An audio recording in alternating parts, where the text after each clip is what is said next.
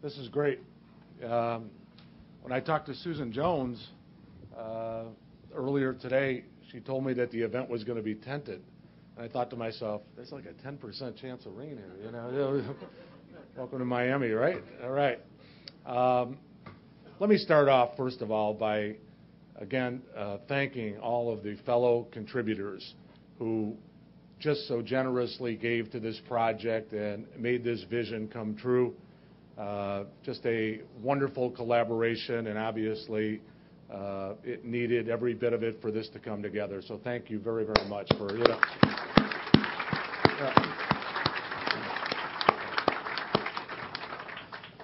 I'd also like to recognize my wife, Chris, uh, who's here with me today, who who said to me on the way here, "You'd do anything to be like Chris." You know? And uh, of course, uh, my daughter Tracy and her husband Justin, and Todd's girlfriend Gina, who's here today. Had a great, great uh, weekend with the family, so that's been wonderful as we move forward. And uh, let me just uh, start off uh, by also uh, thanking Todd for partnering up with me on this. The way our family trust works foundation is that everybody really can make their own decisions. And when I came to Todd uh, with this idea and with this proposal, it didn't take him a nanosecond to say, "What do we got to do?" He's been a Canes fan. He was born a Canes fan, so he's uh, it was it was all too happy to jump in and get involved. So thank you, Todd, for uh, joining me.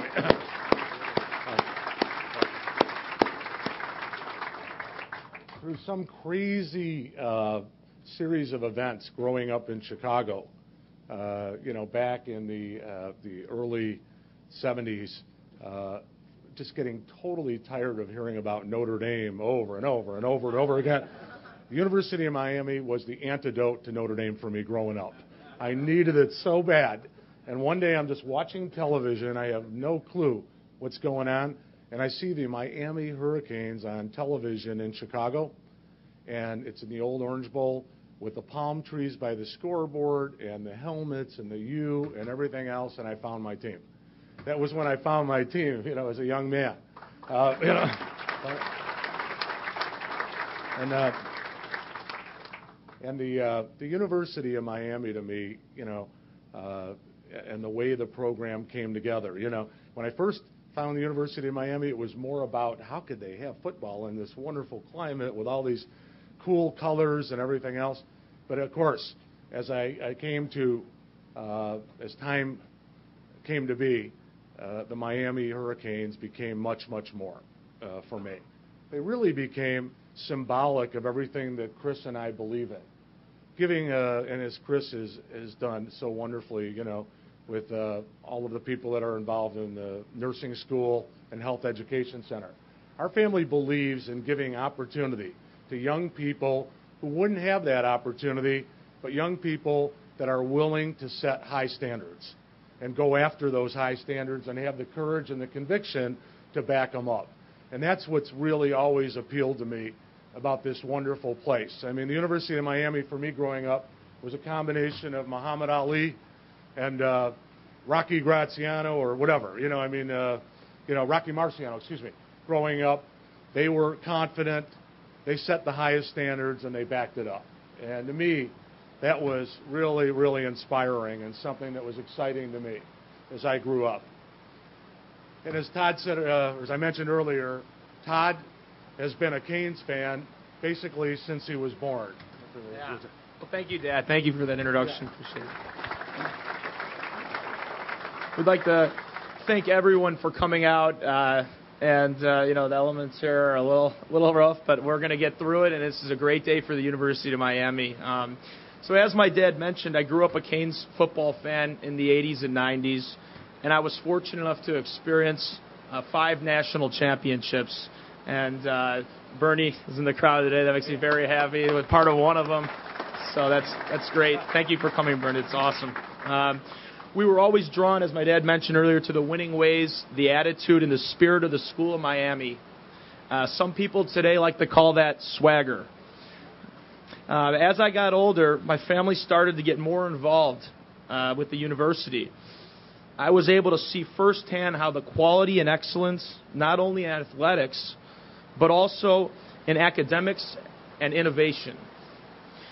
When my dad was originally, when he originally came to me with the idea, as he mentioned, I, uh, it was it was a quick decision for me. Um, the idea of the project was uh, very intriguing. I was uh, I was I was thinking not only can I be engaged, uh, you know, with the athletics, but also I can make better for the uh, the student athletes and the academics. And uh, as uh, as this project has progressed, uh, it's been it's been great to see all of other people in the community and in the athletics uh, community, you know, support this and get behind us. And uh, this is going to really carry on the legacy um, of the University of Miami. And I'm really proud to announce the groundbreaking of the Schwartz Center for Athletic Excellence. So thank you very much.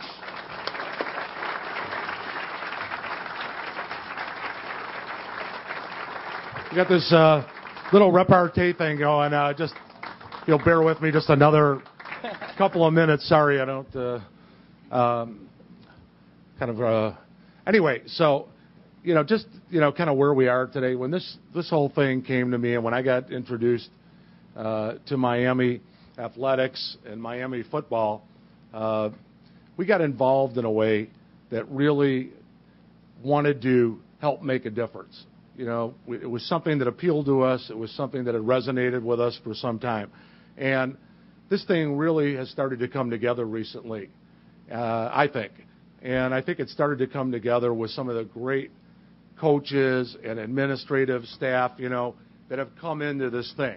Uh, I'll start off with uh, kind of the, the new uh, football coach, Al Golden. Um, Al Golden, uh, I believe, will go down in this great legacy of coaches as one of the great, great coaches of all time and in Miami history. I'm so glad we have him here. You know, uh, you know. um, yeah. Um, first time I got introduced to Al Golden was by Kirby on the telephone when I was getting kind of a courtesy briefing as Paul and Bernie and were looking for a coach, right? And they were out there, and I don't think I got, by the way, anything that anybody else didn't have, but it was it felt good to have the athletic director call you up, you know, and say what you can read in the blogs, you know. It's okay, you know. It was good. I was I was happy. So he started going through. They started going through the. He started going through the candidates for me. He went through all the candidates, and then he got down to Al Golden, and I was listening intently as he described each candidate. I had never seen a picture of Al Golden. Didn't know what the guy looked like. Didn't know anything about him. And when he talked to me about Al Golden in the interview, and Al's plan that he brought to the interview, which now has become legend, you know, how prepared he was, how focused he was, and talked to me about his track record, you know, over at Temple, I, I just remember saying to him, I said, boy, that sure sounds like your guy to me. You know, I don't, I don't have a vote here, but boy, that sounds like your guy, you know. And then I was, of course, uh, really happy to hear that they had selected Al just based on what I had heard. And I got the, uh, the pleasure of picking up Al and Kelly in Philadelphia and bringing him here for the press conference. So I show up at this FBO on a cold, snowy day in Philly, you know, typical Philly day, and they're sitting there, you know, ready to go, packed, organized, are Al and Kelly. And I take a look at Al, I can immediately see he was a big, uh, you know, uh, handsome, you know, football player looking guy. But when you first look at Al, the first thing that caught me were those eyes, those fiery eyes, man. I'm like, I was just saying to myself, yeah, you know, as I walked on the plane, all right, you know. And we sat on the ride and uh, back to Miami. Al was cordial. He made conversation. Uh, and it was really kind of cool to watch him, though, but you could see he was really focused on what was ahead. And Kelly took her shoes off and walked around the plane. Yeah, I could see, man, what a, what a team they are, you know. His beautiful wife, you know, was just kind of laid back, and I could see how well they complement each other. That was really a nice thing. And just before we landed, when we got to Miami, you could see Al getting his game ready. It's, I'm sure he's done many times before playing football and coaching football.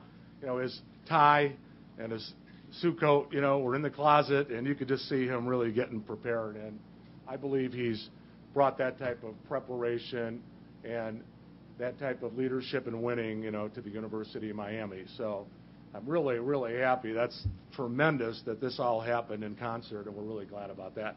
And of course, uh, then his his complement joined uh, shortly thereafter when Shawn Eichorst joined the team. And Donna said, I'm bringing in a guy that's young, he's hungry, and he has a plan. And I mean, that's essentially what she said to me. This is the kind of guy, you know, that we could really ride into the future with. So, so very, very glad that we've got Shawn here to ride into the future as we go together. So, thank you, you know, for that, that as well. You know. I'll just round this up. I saw Katie. Katie Meier, is she out here? Hi, Katie. All right. yeah, I don't know. I know the Jim's here, our, our baseball guy. I just want to acknowledge all the other coaches and sports that are represented today. If you guys would just stand for a second or just wave, you know, and take a bow, and you know, yeah. Because I mean, this is this after all, you know, about uh, U athletics, not just about football. And uh, let me just close by saying uh, that this is a wonderful chapter. We've got a wonderful team. And the thing about uh, our coaches here, and Al and Shawn in particular, is they understand how to bring the past, the legacy, the great things about the University of Miami forward while moving us to the next chapter of U athletics.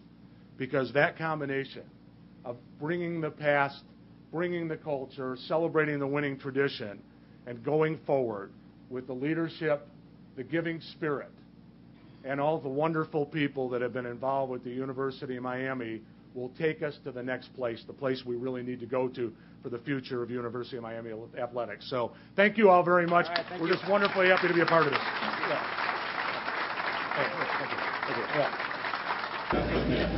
What better uh, speech to than two people that want to give their money and be happy about it? And we're keeping that in mind, by the way, Ted. These are this this is a great family, and uh, we ought to be proud at the University of Miami that they're connected up with us.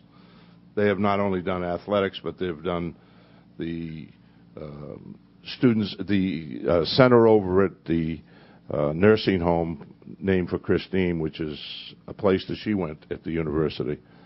This is a great family, and we should be proud of them and what they've done and and hope to do in the future for us. But let me tell you something. We have great coaches here. Al is one of the leaders, but every one of the coaches I think are outstanding at this program. We have got the greatest bunch of coaches that you could ever have. And I'm proud to say they are part of the University of Miami. You know, in order to win at a program, you must have athletes, but you got to have great coaching and great persons people who can lead those people, not only in teaching them what to do, but be academically able to finish the year and finish their tuition and get their money into this program so when they graduate, they can give back to us. And that's something all athletes should think about. This is a free ride for four or five years, $250,000 for some of them. And they ought to think about coming back to this university and giving back, which a lot of them have. But thank God we have got a great group of coaches to lead us to the future. And with these people, this university, just like it has gone academically, will go back to where it was back in the 80s and 90s. It will be back at the top eventually. Be patient. Don't rush our coaches. They know what they're doing, believe me. You've been very patient with all our coaches so far. Just stay there. It's very, very difficult to put a program back together when we've gone down like we had. But we're going to get there. I know with the leadership that they have, they will do it. In closing, I want to thank Ted and Christine Todd once again on behalf of our 400 plus student athletes and the entire Miami Hurricanes family. Thank you.